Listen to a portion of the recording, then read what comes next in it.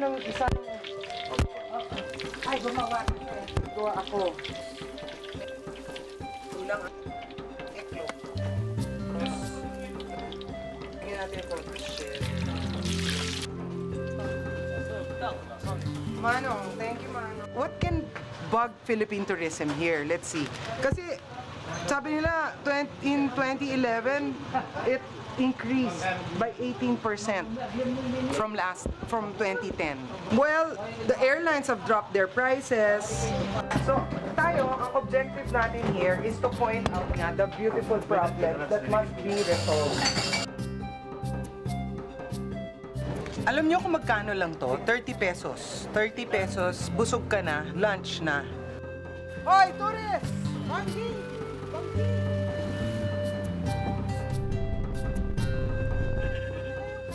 From the main highway, may makikita kayong karatula nakalagay to Kapurpurawan Rock. Andito na kami sa Burgos. Kakaliwa kayo, kaya lang yung daan mabato talaga ha, malubak. Kasi nga, hindi pang ginagawa ng kalsada. Sabi ko sa lang mga kasama ko to prepare themselves because they will see God. Kasi dun sa Kapurpurawan Rock, makikita nyo yung kanyang handiwork.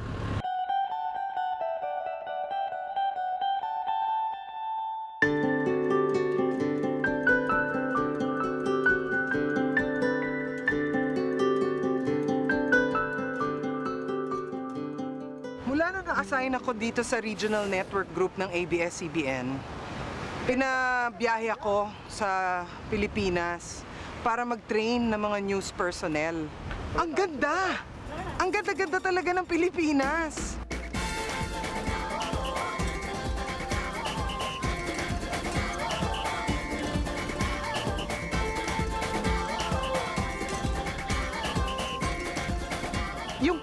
Philippines, magiging isang, isang ah, magaling na plataforma para tulungan na rin yung mga locals dito, no? Para sa kanilang kabuhayan. Yun yung mission ng Choose Philippines. Yan ang gusto sana naming ah, mapropagate yung turismo sa Pilipinas, yung sustainable tourism, natutulong sana sa ating mga kababayan. Sana nga, yung ating mga maliliit na kababayan ang makinabang sa lalaking turismo dito sa ating bansa. Samahan niyo po kami sa aming krusada, ang krusada ng Choose Philippines.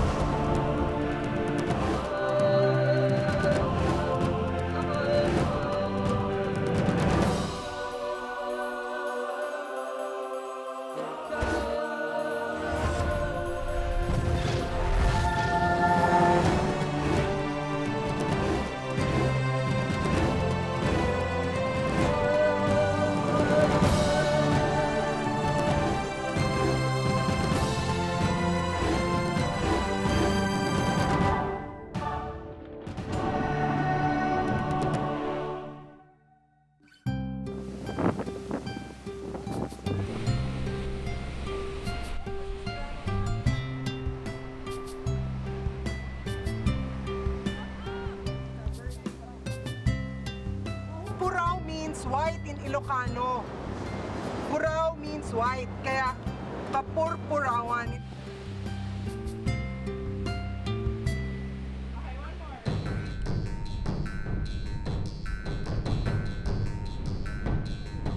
Let me introduce the Choose Philippines team.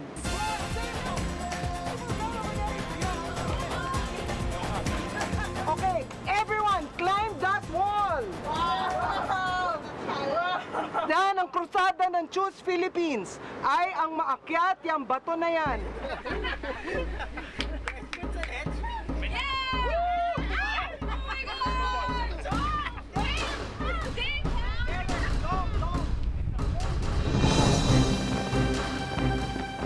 Ito ang Pilipinas. Kung paano kami nakaakyat dito, ganyan din ang aming krusada. Paano namin pinauunlad itong hindi lang online project, kundi parang maging isang kilusan. Ang kailangan natin, sama-sama, hawak-hawak, para makamit yung ating gusto puntahan. Tulad naming nakarating sa taas dito, nagtulungan, nagbuhatan, naghawakan. Akala namin imposible, pero lahat tayo ngayon nandito. Choose Philippines.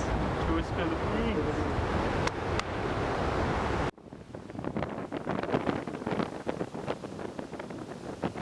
Ako, what moves me, ah? What moves me kasi, di ba reporter ako for the longest time, and I've seen yung hirap. I mean, people don't, they don't have jobs. So when I saw the project and it will bring jobs, parang that's moving me. That's what's moving me. Kayo? um, what moves me about Choose Philippines is the altruistic effort that we're trying to uplift the Philippines because I've traveled other countries and I've seen how human potential is um, is limitless. mga city people, alam lang nila, they're not so much, hindi sila masyadong exposed kung ano yung kagandahan na nasa probinsya. Kaya nandito kami, inuumpisahan namin ang krusadang ito para maibahagi sa inyo kung ano ang likas na kayamanan ng Pilipinas. gusto ko i-share sa lahat ng tao na kung through my lens, through my words, na parang yung ganda ng Pilipinas, sana ma-experience din nila kahit pa paano. Para sa akin, yung Pilipinas kasi talagang mayaman, malawak, pati malaking bansa na maraming pagmamalaki. Kaya marami pa tayo matidiscover dito. Kaya okay na okay na i-share natin yan sa ating mga kababayan. pinasyal, travel, andito na lahat sa Pilipinas. Pinasarap, masasarap na pagkain, dito mo lang matitikman. Marami dito niyan. Choose Philippines. Ever since nag-start ako with Choose Philippines, isang common na sinasabi ng mga nakaka-deal namin with the internet na pag may nakikita silang maganda about the Philippines, sasabihin nila commonly na may ganito pala sa Philippines, parang susurpresa sila.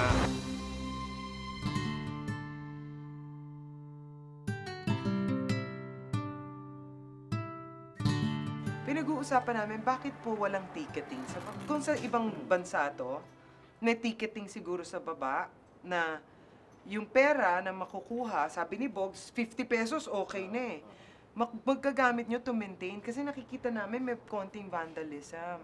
So Mayor, anong plano sa lighthouse? Pwedeng ano, pwedeng off the record yung ano, sa isasagot ko doon. Bakit? Hindi nga. Why? Hindi, Bakit? Kasi Bakit? may, may ano lang eh, may masasagasahan kung sakali. Eh, okay lang. Sabihin na natin. Huwag na lang tayo mag-mention. Pero, sabihin na lang natin na, a- anong balak nyo ba dito? Anong kayo? Ano bang suggestion nyo dito? Dito sa lighthouse, alam natin nasa Coast Guard to. Then, uh, meron silang agreement between the Coast Guard and uh, the Lighthouse, Lighthouse Foundation na wala doon ng kasali, hindi kasali ng Burgos. Ha? Oo, yan ang problema namin. Kaya medyo hindi kami makapasok-pasok dito. Ah, so ito ho'y pamamahala, hindi sa inyo. Hindi, ah, sa Coast Guard po ito. Mm. So dapat kausapin ng Co- Coast Guard, nananawagan po kami, sayang po ito, wala namang purpose ngayon. Buhay pa po ba yung lighthouse? Fully functioning. Oo, Fully functioning. Ah, solar yung ginagamit nila. Pero nang tumatawag ako sa Coast Guard, sabi nila, yung i-maintain lang namin, Mayor, yung ilaw. Parang nakikita ko, ang sinasabi niyong problema, kanya-kanya eh, no? Mm. Kanya-kanyang diskarte. Parang walang iisang objective. Mm. Pero sa ngayon, Kanya-kanya interes? hindi naman. Pero sa ngayon, ang ginawa na ngayon ni Governor, si Governor ah, Ay, ni Marcos, Marcos. gumawa siya ng plano regarding doon sa ah, improvement itong lighthouse. Hmm. Kasi ah, baka in the future, hindi na ano to eh, magtatagal, magigiba to. Delikado Kaya nga naman. Ang ah, provincial government na ngayon ang parang gumagawa ng paraan para makalikom ng pondo para dito sa ah, improvement ng lighthouse at saka yung restoration niya. Dapat i-restore to eh. We're a tourism website. We're, we're promoting the Philippines. And um, how did you come here? How, how did you find out about this place? It's your first time in the Philippines? Yeah, in it's my first time coming. And how do you find it so far? It's amazing. Yeah, it's very Yeah. beautiful. Uh, Licos Norte, it's very beautiful. Nakilala namin si Mang Vicente. 26 na taon siyang bantay sa lighthouse na ito. Sabi niya, yung Coast Guard, papagawa daw ito next year. Ang sabi ko lang, kasi ang Coast Guard, ginagamit pa rin talaga ito, no? Ano po yung, yung maintenance ng building? Papa? Ah, kung no, di pinabayano ng foundation ito. Di ang Coast Guard po, nasa DOTC na po kami ngayon. Nakita lahat yung mga sira na yun. Lalo yung paakyat na gano'n. Pinakita ko pa yung mga sira sa taas yung tower. Tapos po, ba't ganun? Sabi niya. Ba't hindi nireport ang mga ito? Niya ganun. Kasi sinabi ko, ma'am, kasi ito po eh, ang alam ko ng Coast Guard, ay wala na silang problema sa building. Dahil meron ng foundation ako. Di kalayuan sa Cape Boyador Lighthouse ay nakilala naman namin si Milagros Palalay, isang Pinay na US citizen at naisipang mag-retire sa Ilocos Norte. Nagtayo siya ng hotel, ang Palalay Hotel sa Burgos.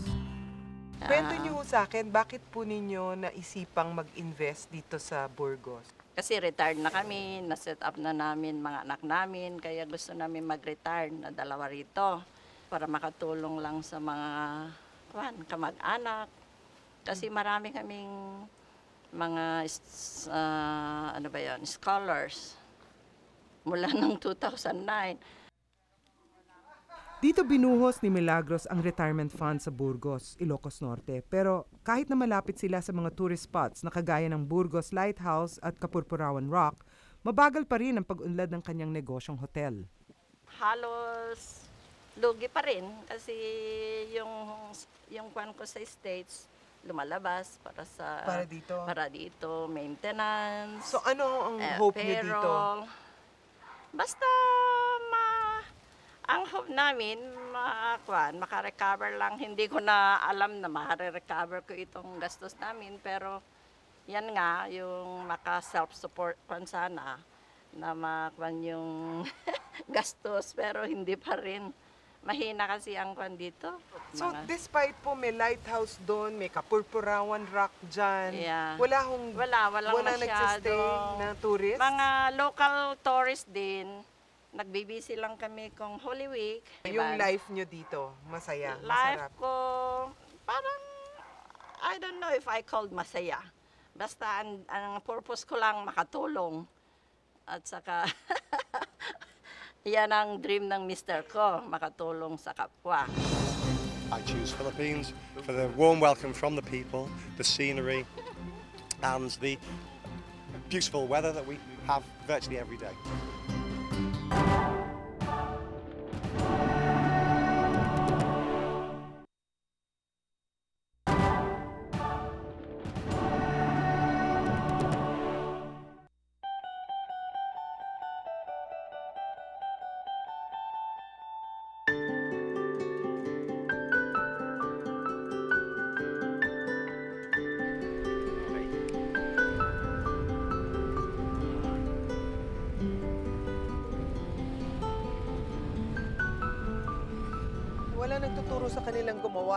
Sila-sila lang. Parang creativity. Ganyang kasipag ang Pinoy.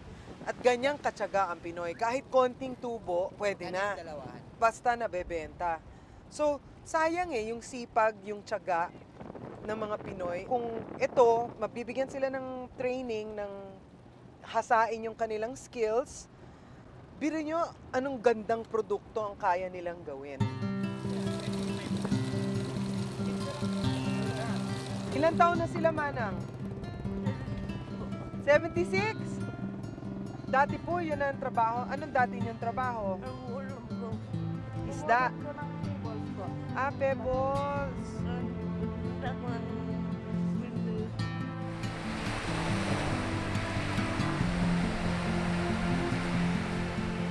Nakita niyo si Manang, yung kinausap ko, 71 years old, nagbebenta siya ng mga souvenir items dito. Ang ibig ko sabihin doon sa sympathy products, bibili ka dahil sa awa mo sa kanila. Meron din sila nakakatuwang sineset up, no, para pagkakita. Nakikita niyo yun?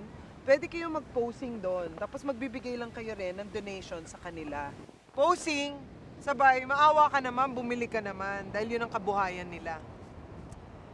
Sana lang, gawan ng paraan para yung pwede nilang pagkakitaan mas stable.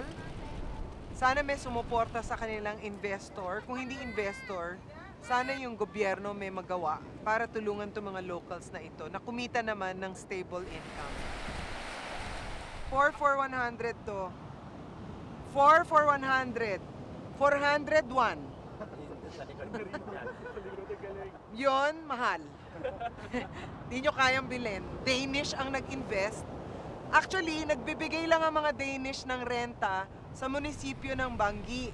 3.1 million a year ang renta. Yung nage-generate na power nito, binibili ng Transco. Yung Transco naman, binibenta yung kuryente na nage-generate nito sa mga cooperative. Yung cooperative dito ang nagbebenta sa mga consumers. So, actually, yung kuryente pinoproduce ng mga windmills na yan, hindi directly pinakikinabangan ng mga taga-Bangi. Pero yung, yung turismo na dinadala dito ng mga windmills, yun yung directly nag-benefit yung mga taga-Bangi.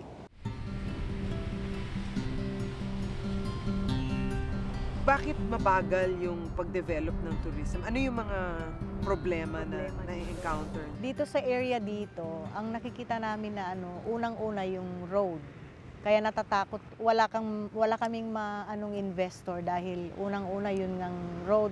Kasi sabi naman nung iba, ah, they have to preserve yung rurality nung area. Pero ang nakita namin na concerns, yung mga tourist na pumupunta dito, mahirap yung daan. Lalo na do- kung dito kayo manggaling, very stiff yung daan dati. Kunyari, kung kayo ang masusunod at kung mabibigyan kayo ng tulong ng uh, Department of Tourism at ng national government, ano yung hihilingin nyo? Ah, mga educational um, Programs? programs nang hindi lang dito sa munisipyo kundi the whole ah, Philippines na siguro dahil maraming nanggagaling sa iba't ibang lugar para lang ma-study. Pwede nilang idagdag sa curriculum nila to visit ah, etong windmill.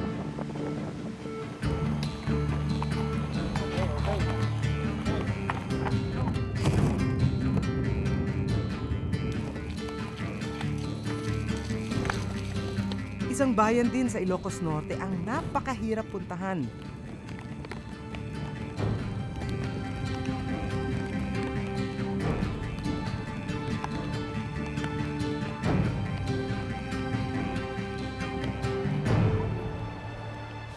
Adams, Ilocos Norte, masasabing isang nakatagong paraiso. still virgin forest and uh, many waterfalls and we have uh, this crystal clear ball river. Any aquatic crea- creations are abundant.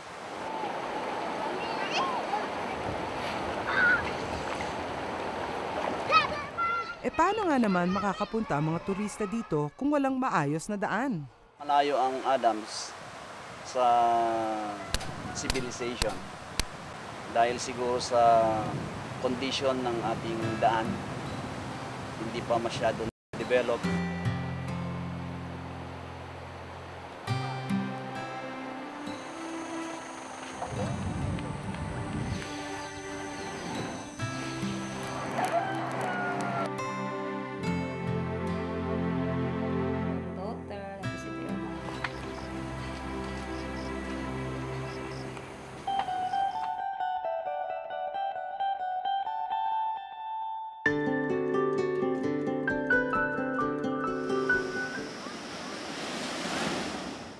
Patapat ah, Viaduct. Um, nagko-connect ng Cagayan at Ilocos Norte. Patapat Viaduct na sinasabing the French Riviera of the Philippines. Ganda, no?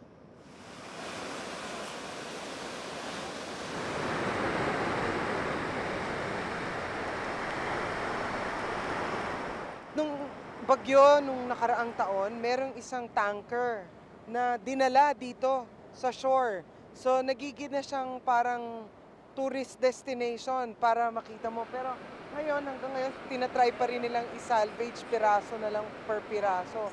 Bakal din yan eh. Kaya nung Holy Week daw, medyo malaki-laki pa yan. Ngayon, kakapiranggot na lang.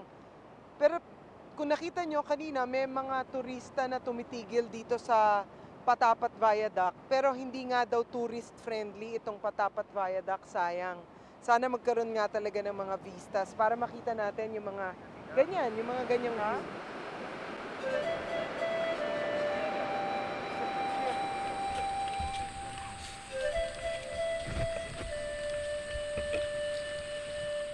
Gumising po kami ng alas 3 ng umaga para kumuha ng sunrise. Sunrise, so galing ng Pagudpod, nag-drive ko kami all the way, nakarating kami dito sa Claveri, Claveria, Cagayan na po to. Tapos, umuulan. So medyo napufrustrate na kami. Tapos, bigla na lang, pagbungad namin, nakikita na namin yan, mga ulap humahalik sa bundok. I'm just saying, this is so beautiful. Saka makakakita ng mga ulap na humahalik sa bundok. Pwede nating lapitan pa yung ulap. Let's go look for the sun. Go to the van to get the sand.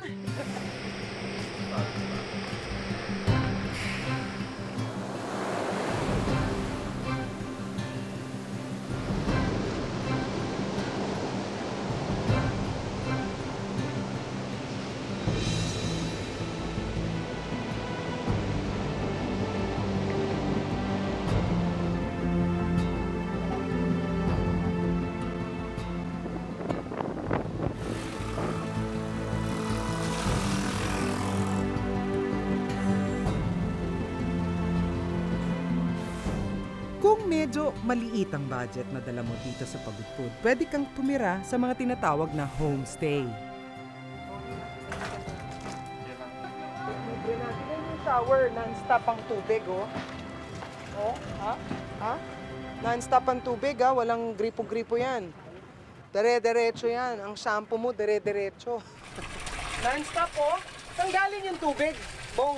Bundok, ma'am. Ah, pero ano siya? Fresh? Hmm. Ito naman, halika, tour guide ako ha. Mangbong, ito, ano to, pwede magluto dyan. Opo, ma'am. So, libre gamit ng gasol. Libre na po yan, ma'am. Kasama kasi sa mga binabayaran na nila. May kaldero na. Opo. Eh yung kutsara tinidor, magdadala ma'am, sila. Naka, may- nakatago lang, ma'am. Kasi Ah, may, may kutsara tinidor na rin. Para pala kayong hotel. Ah, sila gumagawa niya. Tapos ito, wala lang. kubo pa ako. At kung may budget ka naman, hotel ang katapat mo. Ito po yung pinagyayabang ng Hanas na pinakamalaking palayok sa buong Pilipinas. Dito daw pwede ka gawing kare-kare. Mga tatlong tao para bumuo ng isang kare-kare soup. Joke lang po. Sa loob po, may swimming pool.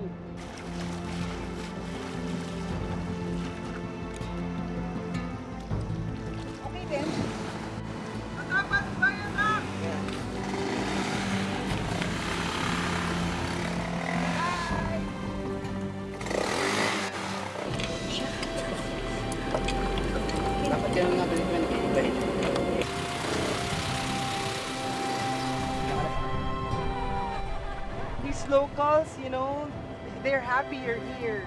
First time in Asia, and we chose Philippines. you see. Ah, choose Ah, Philippines. yes. But um, what made you choose Philippines? Um, maybe the, the nature, the jungle, the, the people with always smile, and uh, Always smiling? yes, Very nice people.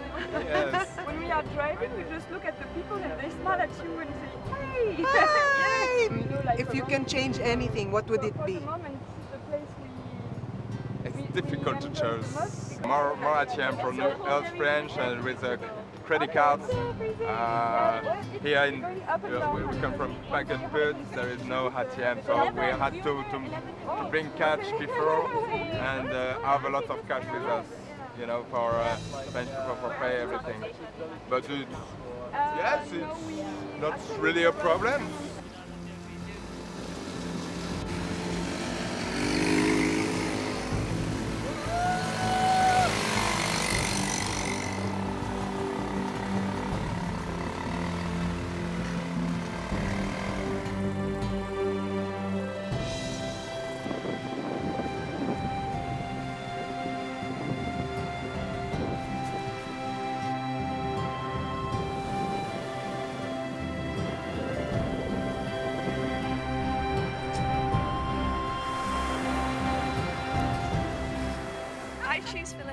Because of the uh, warm welcome that we've received here, the sunshine, the warm rain, warm rain, not cold and horrible like in England, but especially for the people.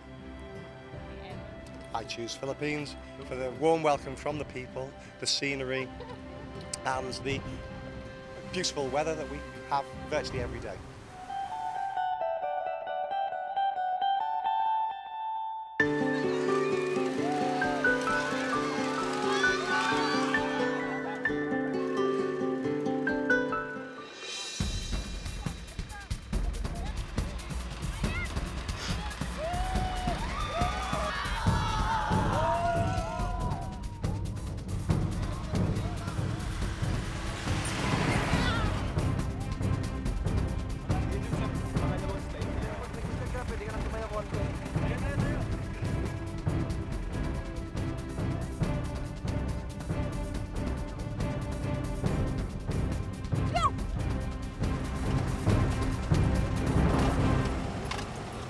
Po, miyembro ng Pinakbet Group.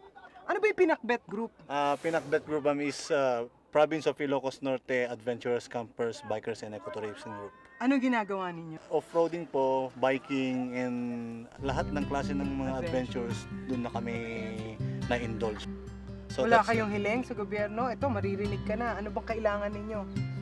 Ah, konting tulong lang ma'am na sana ah, lahat ah, sana ah, may advertise pa ng gusto itong Ilocos Norte kasi marami pa talagang places na maganda dito.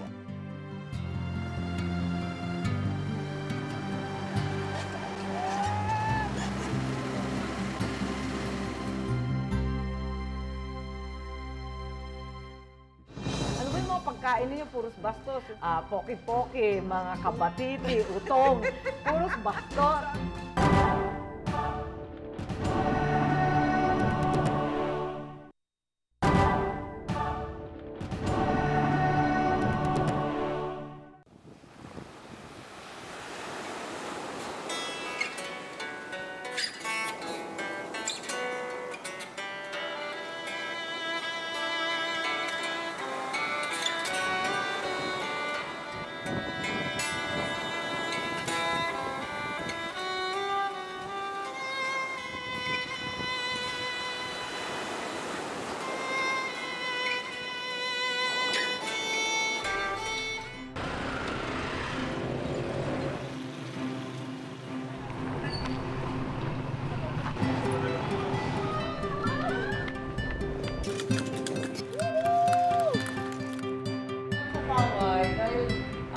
Linawin naman kung ano talaga ang sitwasyon ng turismo sa Ilocos Norte, pinasyalan namin si Governor Aimee.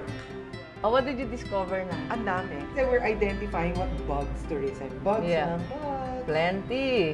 I, I've interviewed some mayors. Yeah, but there's mayors some- of Burgos saying, you know, example, this lighthouse, it's an 18th century building, but so many hands into the cookie jar talaga, the Coast Guard, the OTC now. No, but actually, Bongbong already made that pakialam eh. He's the one, it's actually the province that's the co-developer with the Coast Guard.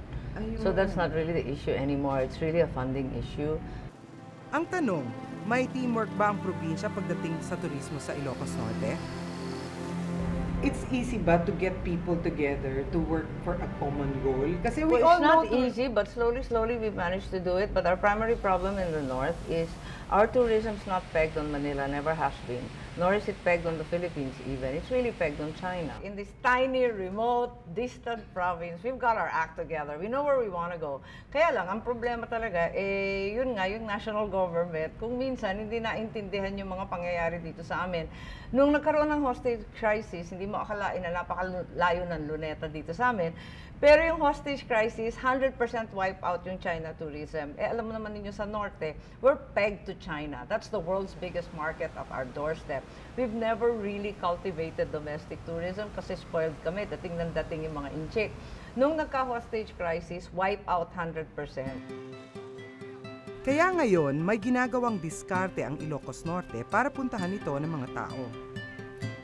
Now we're drumming up uh, a uh, campaign, Paway Kumakaway, for domestic tourism dahil with the burgeoning nga of the budget airlines sa domestic routes, eh baka la, pwede na rin kami. Ikalawa, magsisimula rin kami sa mga highways dahil the Ilocos Norte, fortunately, is reachable by land. So we're pushing for the tollways, the highways, sa skyways, sana mapagbigyan kami ng konti na i-advertise dahil it's a real perfect place to go for a long weekend.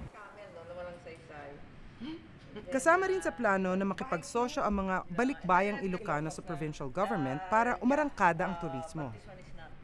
Ang problema dito sa Ilocos Norte kung bakit ang turismo ay napaka-importante. Traditionally, we're the largest uh, migrating sector.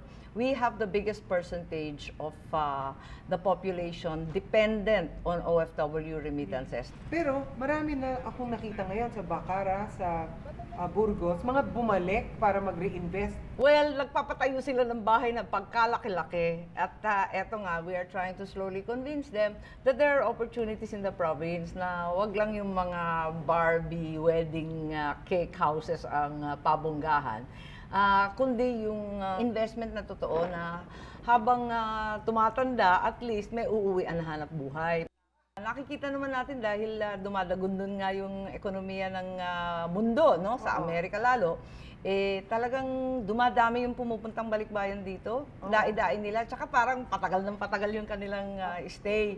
Ang problema, syempre, sanay naman sila sa first world amenities. They need all the mod cons. Eh, nahihirapan naman sila kapag walang indoor plumbing, pag sobrang mahal ng kuryente, pag marumi, hindi nila matik. Diretsahan din sinagot ni Governor Aimee ang tanong kung bakit walang ATM sa mga tourist spots.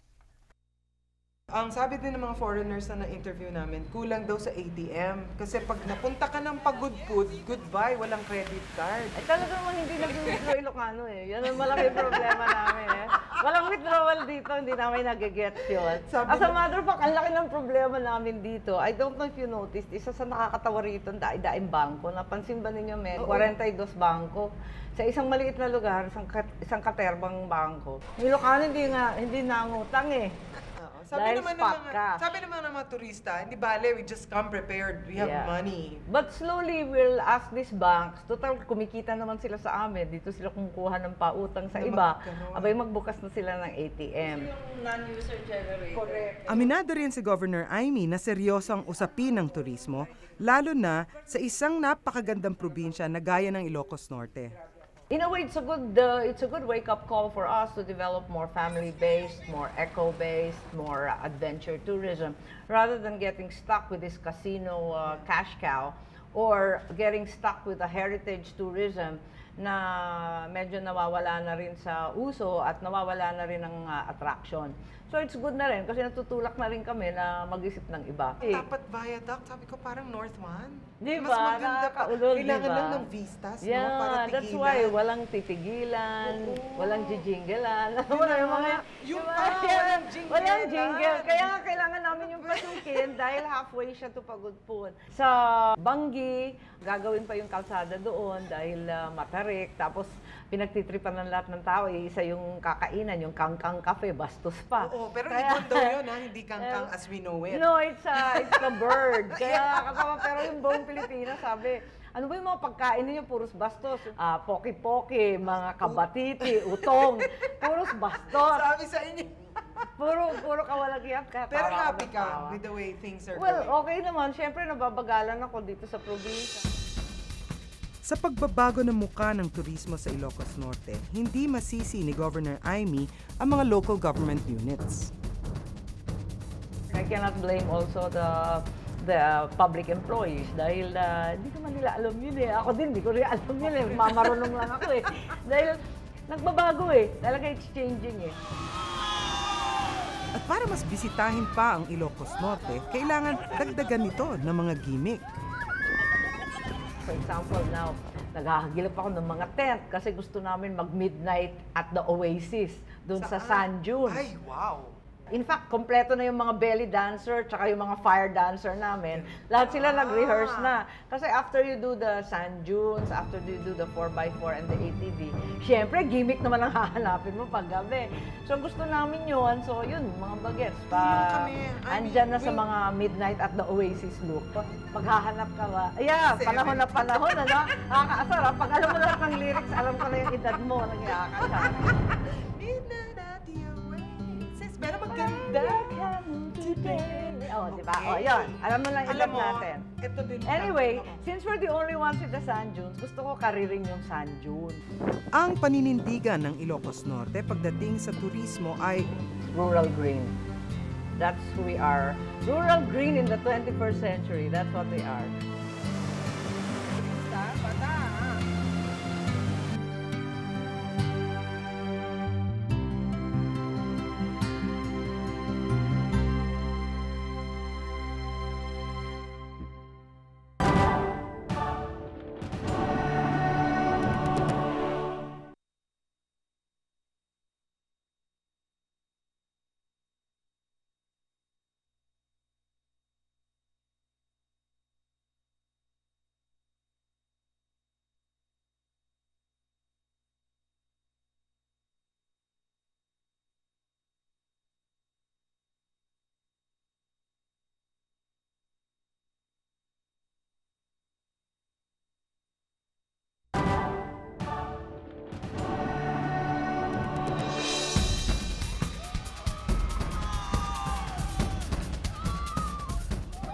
Sabi ko nga, nag-sunset na, pero yung aming misyon hindi pa tapos.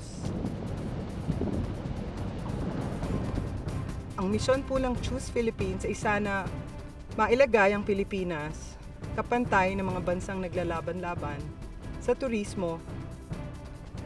Hindi para sa pride, hindi para magyabang, kundi ang misyon namin ay sana matulungan natin ang ating mga kababayan na magamit ang kanilang likas yaman para sa kanilang kabuhayan. Totoo pong maraming problema ang Pilipinas. May problema sa kahirapan, sa corruption, inefficiency ng gobyerno. Marami po talaga, pero lahat po yan may solusyon. Pero kung magiging utak talangka po tayo, talagang walang mangyayari sa atin if we keep pulling each other down. Kung hindi tayo magtutulungan, magsasama-sama para itulak itong ating bansa, para maging globally competitive. Ako po si Chari Villa.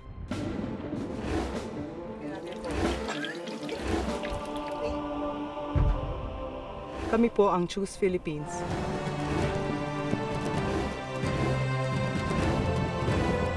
At ito ang aming krusada.